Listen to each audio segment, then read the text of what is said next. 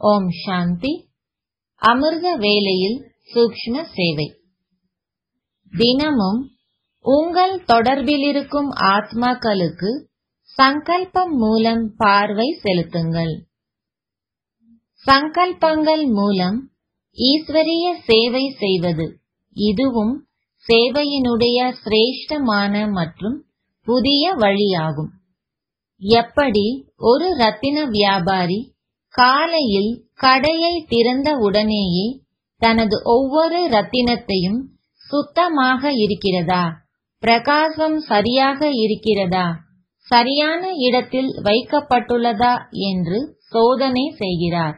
அதேபோல் தினமும் அமிர்த வேலை உங்களது தொடர்பில் வரக்கூடிய ஆத்மாக்கள் மீது சங்கல்பம் மூலம் உங்கள் பார்வையை செலுத்துங்கள். எவ்வளவு நீங்கள் அவர்களை சங்கல்பத்தால் நினைவு செய்கிறீர்களோ அவ்வளவு அந்த சங்கல்பம் அவர்களை போய் சேரும். மேலும் அவர்கள் நாங்கள் கூட உங்களை பல முறை நினைவு செய்திருந்தோம் என்று கூறுவார்கள்.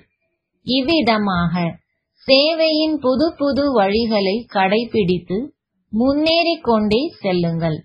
ஒவ்வொரு மாதமும் தொடர்பில் வரக்கூடிய ஆத்மாக்களுக்கு விசேஷமாக ஏதாவது நிகழ்ச்சிகளை வையுங்கள் சிநேக சந்திப்பு வையுங்கள் அனுபவங்களின் பரிமாறல் அல்லது மனதிற்கு களிப்பூட்டும் புரோகிராம் வையுங்கள் ஏதாவதொரு விதத்தில் கூப்பிட்டு தொடர்பை அதிகரியுங்கள்.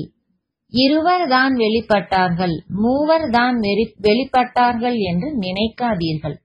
ஒருவர் வெளிப்பட்டாலும் நல்லதே. அந்த ஒரே ஒரு தீபம் தீப மாலையையே